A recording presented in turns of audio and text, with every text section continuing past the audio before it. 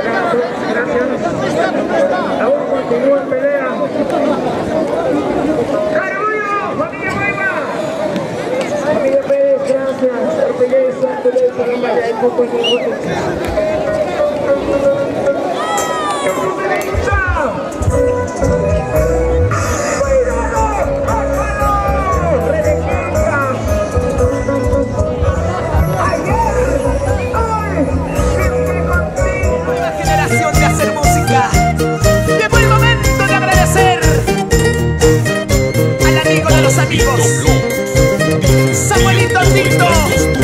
Siempre con estudios Tito en Arequipa. Sigan cantando corazones. Ergelinda Quispe.